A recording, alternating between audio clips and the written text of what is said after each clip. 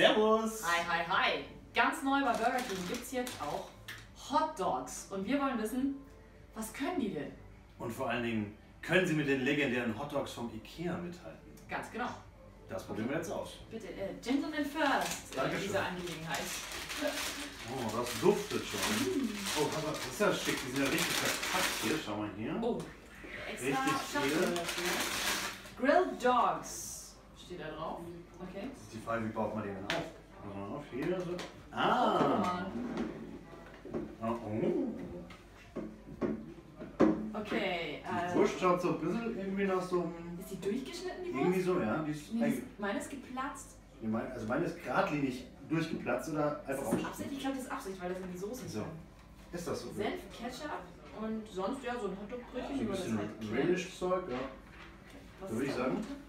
Also was mir jetzt gleich auffällt, mir fehlen die äh, gerösteten Zwiebeln. Weil die gibt es ja bei Ikea immer. Ja, ja, das ist hier so, so, so ein Zwiebel-Relish, irgend sowas Weil drauf. da hole ich mir immer mega viel drauf. Hm?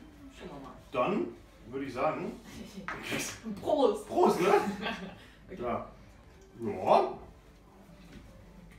Das ist durchaus in Ordnung. Ja, man muss es dazu sagen, ich habe wahnsinnig Hunger. Ich hab Tabasco essen, aber es geht trotzdem. Und dafür schmeckt es gut. Ich finde es ein bisschen trocken. Findest du? Hä? Doch, Da finde ich die vom Ikea trockener. echt? Ja. Mann, mir fehlen die gerösteten Zwiebeln. Das stimmt, ja. geil auf dem Hotdog, diese gerösteten Aber stell dir mal Zwiebeln. vor, die wären noch drauf, dann wäre das perfekt. Dann wäre es geil. Das ist echt lecker. Ich finde es fein. Ich Ist habe jetzt auch übel Hunger, deswegen ich hau mir das jetzt rein. Für 1,99 kann man nichts sagen, also insofern schmeckt.